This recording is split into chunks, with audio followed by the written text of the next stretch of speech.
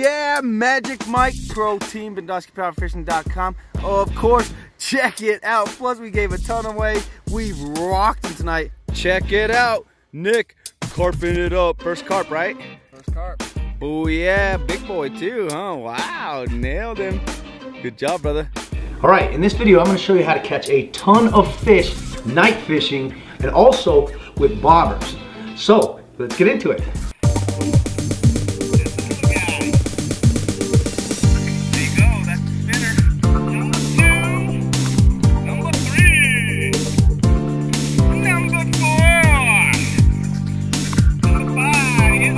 All right, as I mentioned, this video is all about fishing with bobbers, night fishing for catfish, white bass, oh, perch, bluegill. We caught a lot of different fish um, on this trip and super excited uh, that we had, in this video, we had Magic Mike. He's on the pro team. You guys know him. We had Nick. Um, he's on the pro team as well. And then we had Jazzy. And um, we are looking at potentially uh, launching this season a, a teenage um, pro team. Yeah, so we're looking into it. Obviously, it's not fully developed yet. It does depend on when you see this video. The, the idea isn't fully fleshed out, but we are moving in that direction as, uh, as the weather has warmed up. So, uh, real quick though, you guys know me. I am Josh Bendoski, founder of BendoskiPowerFishing.com and home of the Bendoski Power Fishing subscription box where we put all the different stuff that you see us using in our videos to catch thousands of fish in this box. New stuff comes every single month, $16.99 and about a 30 to $35 value. New stuff every month shipped directly to your door. So highly recommend that you try that out. Now, uh, what I used, I'll go. I'll just go over the rods real quick, and then I want to. I want to share the bobber. Um, this other one. I want to share the bobber secrets um, and then I'll go into the full rigs uh, because some of you guys out there have seen um, what, what I call the Bendoski Buffet. And in fact, it was actually mentioned in a national magazine, American Outdoor News. Um, and I'll put a link in the description to that magazine and you guys can check that article out. But I will cover it here as well. But just real quick, um, you guys know that I use pretty much Velocity brand rod and reels exclusively. My buddy Jared Johnson Signature Series six foot six medium light action and then uh, the medium action one as well. And so these are the rod and reel combos that I like to use. Um, they're available on the website. You can also PM me or um, reach out to me through uh, Facebook or, or wherever you see this video at. Um, but either way, uh, so those are the rod and reel combos that I like to use. The six foot six rod and reel combos from uh, Velocity. Okay, so uh, a lot of times you guys will see us fishing off of the bottom with a weight instead of a bobber. We'll use a steel weight instead of a bobber and uh, that's to, to fish off of the bottom. Now, occasionally the fish aren't really biting off the bottom that much and so we'll want to find them in the water column. And so a bobber uh, works in a couple of different ways to do that. Now we happen to be at a shallow um, part of this lake. And so, you know, this, uh, this bobber I had stationary on my line, okay? Um, but this gives me a chance. This is, this is the Bendoski Buffet here. And what it is, is it's three hooks. And sometimes we use a jig. You know, sometimes I'll use a jig head here. You guys have seen that, I'm sure, if you've seen any of my other videos. Um, sometimes I'll do a jig. Sometimes I'll do, if I'm, if I'm going for trout, sometimes I'll do you know, a hook, a, a, bear, a regular hook with um, bait on it, and then a jig with some bait on it. And then on the bottom, maybe if I'm going for trout, it may be some power bait or something like that. And what the, that does is help uh, identify what the fish are biting much quicker. But um, and I will get I will go over that in full detail after I go over the disbobber part because I know there's a lot of you guys out there probably seen some of my videos and some of that will be um, information you've already gotten. So let me just cover the bobber first and how to use this to identify where the fish are in the water column. So if you see this line that I have, it's probably, uh, it's a, it's a, about a, let's say maybe a four foot uh, fluorocarbon leader. Um, and we were going for catfish, all kinds of fish, really, just having some fun. Um, so I use 12 pound, just in case I got a cat on. I don't want to lose a cat by using really light line. And I know, uh, you know, some of my pro team members, they like really light line. Um, and I will have them explain that to you at some point in time when, I'll, when we're out on the, on the water with one of them who does use light line. Um, but anyways, so what this does is I throw this bobber on and it, I can cast out and I've got different bait on here, which I'll go over in a second, but I can cast out. And then I've got three pieces of bait or three, three presentations at three points in the water column. Okay, this fluorocarbon leader is probably two feet to the first hook and then the, the hooks are about a foot apart. Um, so that gives me four feet. So now I can be, you know, at several different places in the water column to get an idea of what they're biting uh, or, or where they're biting. Now, now, like I mentioned, this lake was a very shallow lake. Um, we're up in the Rocky Mountains, but this happens to be a very shallow lake. And so I used to use a stationary bobber, but sometimes what you'll want to do um, is use a slip bobber um, and, and, a bobber stopper. And that way you can, like if, and I'll do this when we get to one of the deeper lakes, I'll, I'll, I'll make another video where we use a slip bobber and I'll show you exactly how to use it, but um, in the video itself at least. But you put a slip bobber on that maybe you put it so that you can cast. Maybe you put it, you know, 10 feet down your line, you put a slip bob or a bobber stopper. And so now when you cast out that bobber, because the slip bobber is gonna slide 10 feet up your line or 20 feet or 30 feet. And then you're still gonna have your hooks at different spots in the, in the water column. So instead of having your, like this is, you know, the top four feet of the water, this, this specific one, because the bobber's here, the top four feet of the water has the bait in it, right, at different, at different spots.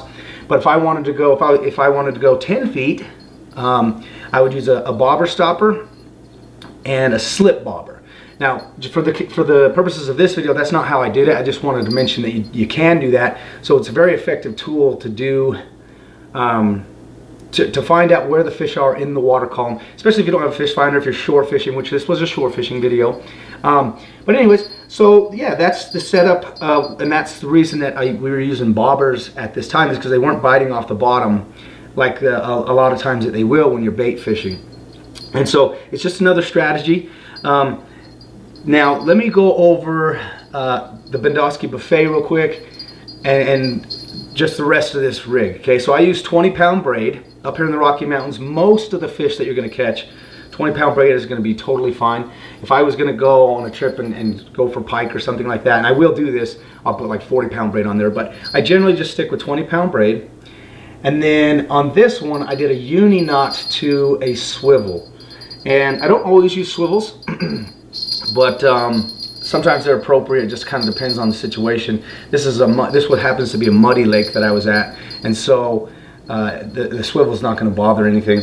So what I'll do with the Bendoski Buffet is I'll put on three different types of bait. I'll do a surgeon's knot up here, and I, I believe I have a, a video. I, I, just need to make one. I need to make one for sure um, because I'm not 100% sure, and I say on almost one, every one of my videos that I think I have one, but I just need to double check and just make it. Anyway, and then three on the three hooks, as I mentioned, on the three hooks, I'll put three different items that I think they're going for. So at this lake specifically, I'll do a worm, a, a piece of white bass, and raw chicken. Raw chicken works really, really, really well for uh, catfish. Really good for catfish up in the Rocky Mountains.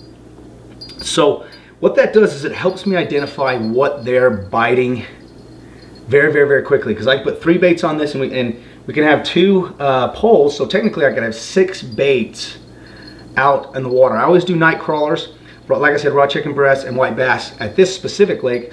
But um, if I was up trout fishing and I was using this exact same thing, you guys have seen this maybe some of my other videos, I'll do a minnow, a night crawler, and maybe power bait, right? So I'll have three different baits on there.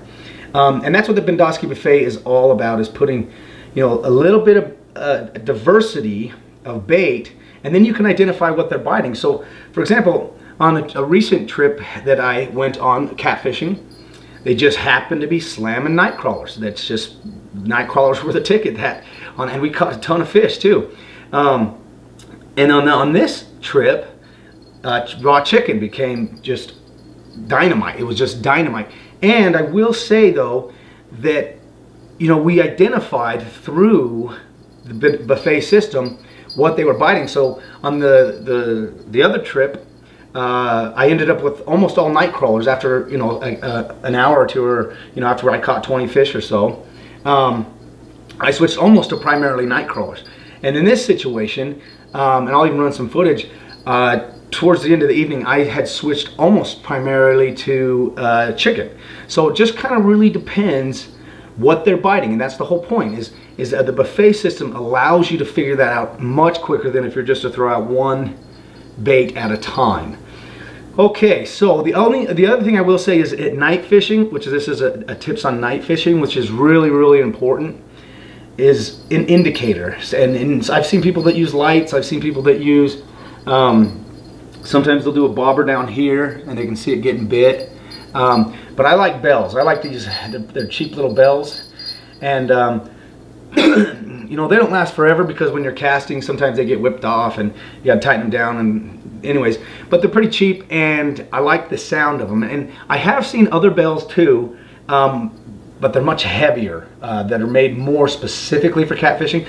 I, anytime I'm bait fishing, I always like to have these little bells because that little jingle, then I don't have to be watching my pole as close, you know? And so that's what we did. Um, let me think if there's anything else. Oh, okay. And then, and, and then uh, as it got later and, and the catfish really started coming out, because in the beginning of the day, like I said, we were catching a lot of panfish, white bass, everything like that on this system. Um, but then later uh, in the evening, the catfish started biting off the bottom a lot more. And so we, I switched to, I switched to it on both of them. I just put this bobber on here so you can see how, see the setup of how we had it for the, on the actual day. But, um, and if you've seen my other one, videos, uh, very, very similar to exactly how, I mean, this is how we do it. So that's why we share the tips with you. I put a slip weight, of steel or lead slip weight on the braid, on my 20 pound braid. And then I put on my swivel. And I use a uni knot. Uni knot's my favorite knot um, to hook to a swivel. And that holds the, the slip weight on there. Um, and then I do, like I said, a surgeon's knot, a fluorocarbon leader. And this one had three hooks on it, but then one popped off because of a fish. But um, so, uh, and then I, I, snell the first two hooks and then I do a uni knot on the bottom. And I know for sure I've got a uni knot video and I will put it in the description on how to tie these knots. And I will get toward uh, getting the surgeon's knot one done. So basically the same setup. You just change the way that you are, you know, just instead of a bobber, ch change to a slip weight. Um, and and then fish off the bottom. And that what this does, I, I, should mention why we use a slip weight instead of just tacking a weight on here. And one of my pro team members, super good fisherman, showed me how to do this. Um, but what happens is the fish, especially this one isn't super big. This, uh, I don't know if you can see this steel weight. It's not that big. But um, sometimes I have on a, on a, much larger pole, I have a, a real big one.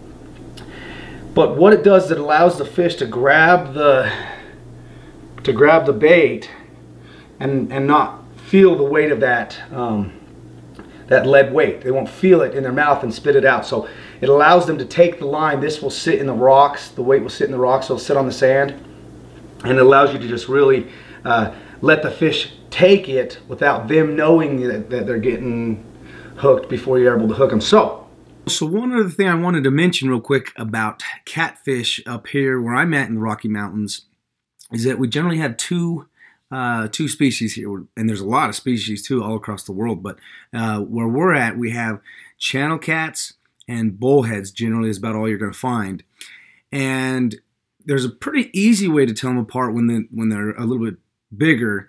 Um, you know, when in the video, I think you might hear me say I wasn't sure which one it was, but uh, this is how you can tell.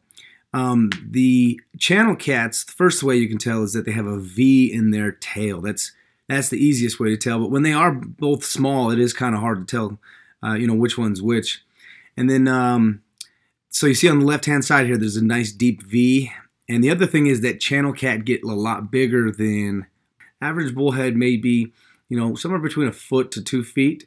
Um, so if you're catching catfish that are you know 18 inches and stuff like that, those are those are good catfish. They're and they're probably bullheads. Um, if you're catching catfish that are like you know, three feet long. Um, then you're definitely catching channel cats.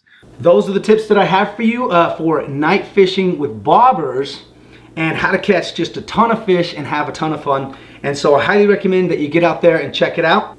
Also, one more thing, if you like our videos, feel free to subscribe and hit the notifications bell. That will allow you to get notified when we send out new videos and so that you can catch it up on all the tips that we are sharing, me and the pro team, on how to catch just a ton of fish and have a ton of fun. So, here's the video. All right, guys, this is Mike with the Bendoski Pro Team. Can't wait to get my daughter out here to Utah Lake to catch some big catfish. Yeah. Oh, yeah. Yes.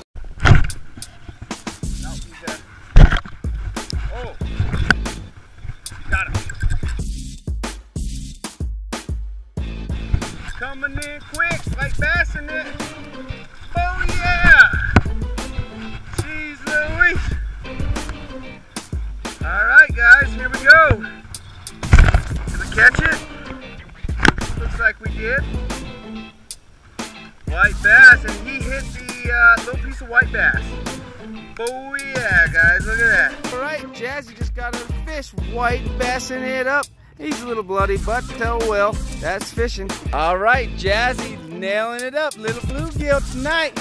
Oh yeah, that's uh, what, your second or first? First. Boom, bluegill in it. Oh yeah.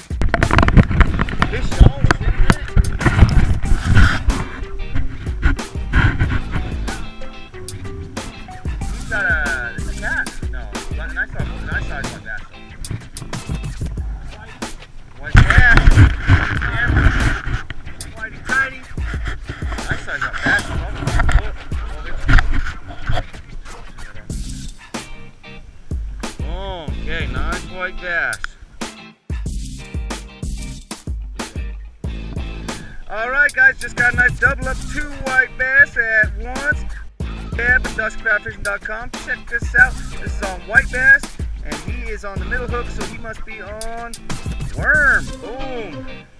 Look at this. This fish has like a tumor in its eye. It's absolutely, and he's still alive too. Let me show you. He's still alive. Look at that side ball. Let me grab a hold of it. Ah. Never seen a fish look like that before. Look at that. It's like a brain tumor. Oh,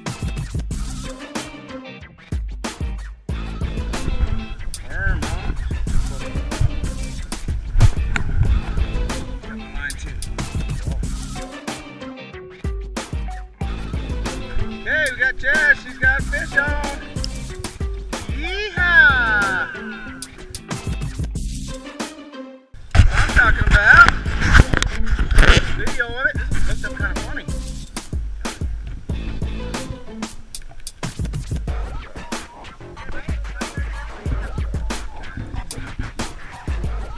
no, he's hooked up normal. He just got he got rang around a little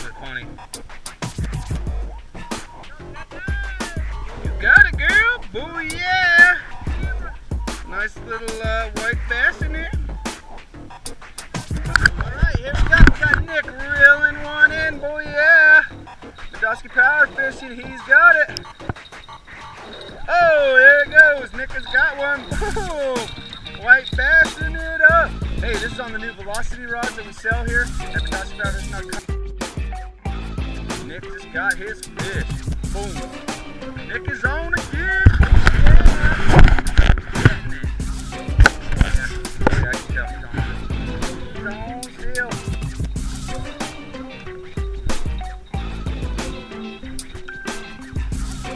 Nick is up here slamming it, white bassing it, oh dude. On the velocity poles. Whoop,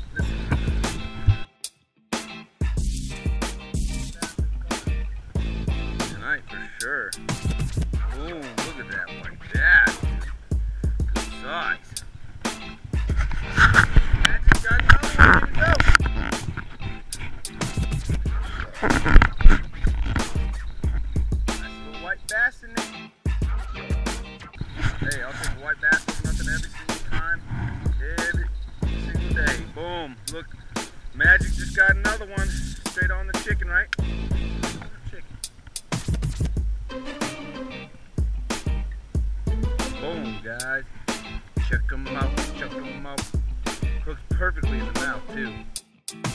Oh yeah! Nick's got the first cat. There's a carp. Check this out. You hooked him in the eyeball. See, that's what I was gonna say. Rarely do you hook a carp off of a bait. Look at that fish, though, huh? I bet you this guy's four pounds. Oh yeah, guys, right in the eyeball. Carping it up. Not a bad fight. Check it out, Nick carping it up. First carp, right? Carp. Big boy too, huh? Wow, nailed him. Good job, brother.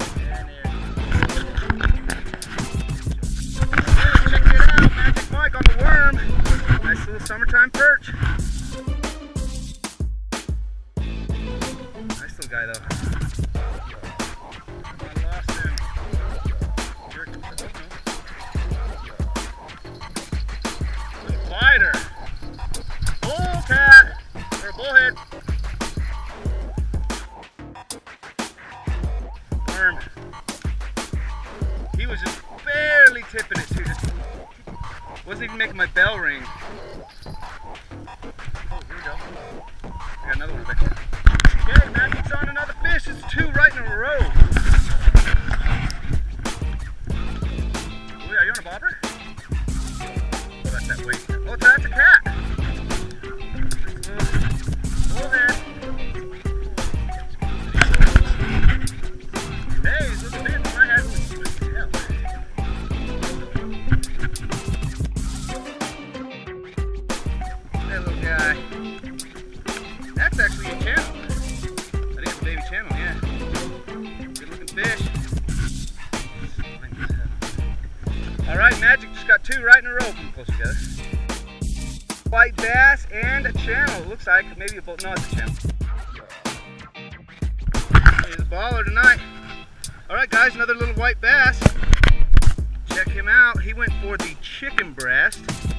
Boom, little guy though. I'm gonna do a release on him. Okay guys, here's a nice little release on another little white bass. Whoa! Zipped out of there. All right, Chris Bushman, check it out. First cat of the night. Little guy, cute one, but still getting it. Heck yeah. Loving it out here. So Good to meet fun. you guys. Hey, here's a nice little release of a cat. Go ahead.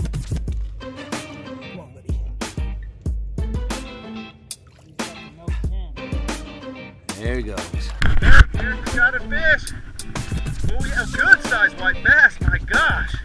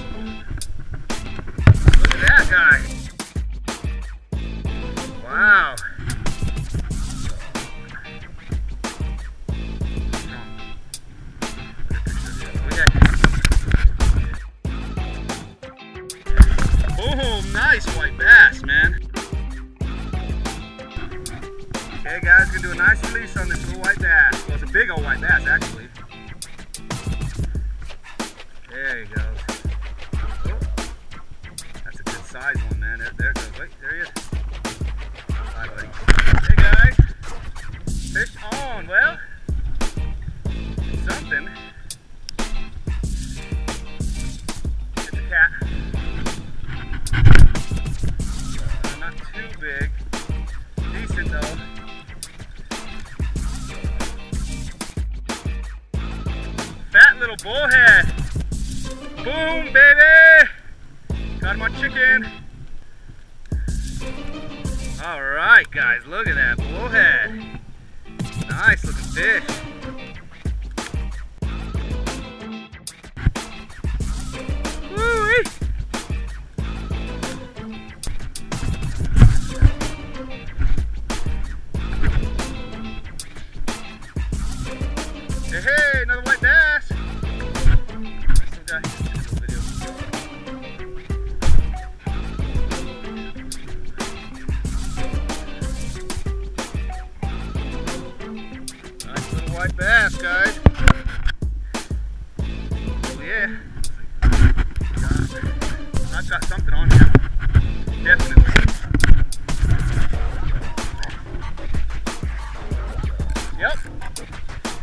Small one. He was swimming around. Look at him. Zing! Chicken again. Oh, I got my other line, dang it. Alright. Still on? Yeah, he's still on there. Okay, guys. I think this is another cat, by the way he's fighting.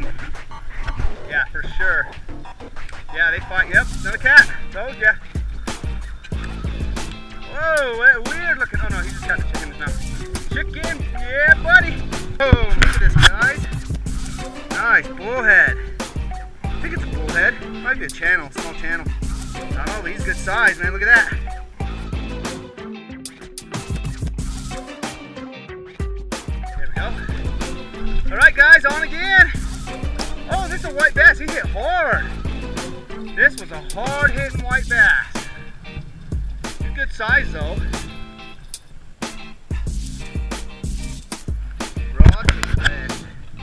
Look at that white bass, guys. Good size, chicken breast. All night long on chicken breast.